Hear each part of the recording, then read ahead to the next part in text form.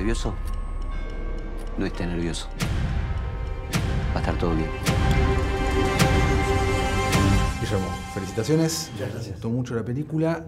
Antes de meternos en esta, eh, te pregunto, hace, no sé, 10, 15 años, si analizamos tu carrera en cine, por sobre todas las cosas, tus papeles son realmente muy diferentes. Hay como una muy buena elección.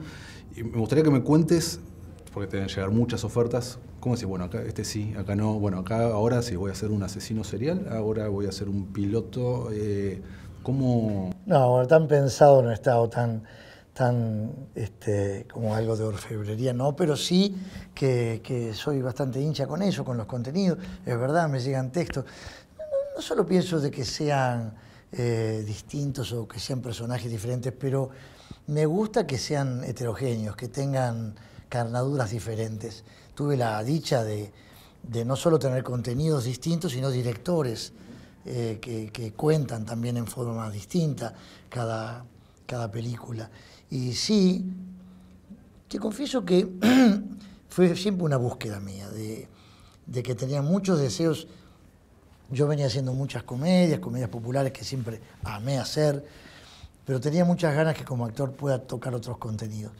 Y también fue un trabajo, porque los productores decían, tenemos un público cautivo, no toquemos nada, por favor. Ah, Que- pero a partir de Rudo y Cursi y luego el secreto, ahí se rompió Ahí todo. fue todo. A partir de que vino de afuera, vino de los Cuarón, de Iñárritu y del Toro, que me hicieron hacer una audición con muchísimos compañeros nuestros y fui elegido y a partir de ahí eh, ellos dijeron palabras muy lindas hacia mí eh, y acá como que la confianza se empezó a adquirir a partir de ahí y ahí tuve una continuidad de un montón de directores hermosos que pude trabajar y me permitió a mí tocar contenidos diferentes. Y eso a mí me, me gusta. Y encima, en algunos roles, tocar las dos cuerdas, ¿no? que en, en el- en- en el mismo personaje. Así que, ¿Te queda algún, alguno por tachar en una lista de deseos? No. Nunca interpreté todavía... no, es- es- esperando siempre lo nuevo, eh, estas cosas que he transitado este año, fui muy feliz, la extorsión me encantó. Eso, ¿qué onda este personaje? ¿Cómo, cómo fue? ¿Cómo, cómo llegó? Y, te agrego ahí la pregunta de tu entrenamiento, si es que hubo, para en una cabina... Tuve mucha ayuda porque eh, primero que está fantástico trabajar en los escenarios reales, ¿no? Arriba de un jumbo, tuve pilotos de verdad al lado mío donde me hablaban del mundo, de- pero de- siempre tuve fuentes de consultas de gente del palo, ¿no? Mi propia mujer es azafata, fue azafata, y me decía, guarda el vestuario, guarda las tiras, guarda la charretera, el carrión, cada cosita hablaba con la gente de vestuario y le decía, me dijo que esto no puede ser, que estoy bien acá, que acá no puede estar colgado tal cosa. Porque viste que a veces hace una película de médico, el guardapolvo no estaba bien puesto que hacen los médicos, dale. Pero bueno, pero a mí me gusta que, que de verdad nada deje librado al azar. Eso solo con la parte de vestuario. Te imaginas lo que fue el libro. El universo de cada cosa se trabajó al dedillo, hubo un gran guion de Manuel Díez y el trabajo de, Martino en el, rodaje, en la dirección fue fantástico. Y el trabajo interpretativo de todos los chicos, ¿no? de, de Pablito Rago haciendo un rol extraordinario, Andrea Frigerio, Portalupi, Arengo, Ajaca, eh, muy buenos trabajos todos, Mónica Villa, muy buenos trabajos todos. Así que yo pleno de- en poder... ¿Te costó encontrar, encontrarte, encontrar No, tu personaje ahí? No, el porque código? el, el- el proceso de ensayo fue muy útil en la búsqueda del tono. Primero que partíamos de una premisa absolutamente posible, de, de que a un mortal un hecho puntual, fortuito, le cambie la vida por completo. Eh, eh, y eso había que llevarlo con la mayor verosimilitud posible.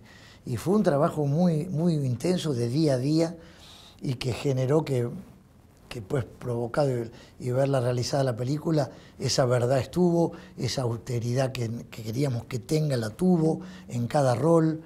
Eh, fuimos muy minuciosos, muy observadores de tratar, me siento incluido porque estuve desde el primer día trabajando con el guionista y con el director, codo a codo, con cada palabra del guion.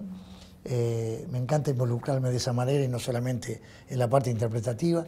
Y por eso te digo que, que cuando se ve plasmado y ver que fue nuestra búsqueda plasmada y bien, es ideal. Última, sé que me vas a contestar las dos cosas y vale que me contestes las dos cosas, pero ¿qué es lo que más sentís que te llena en el sentido profesional?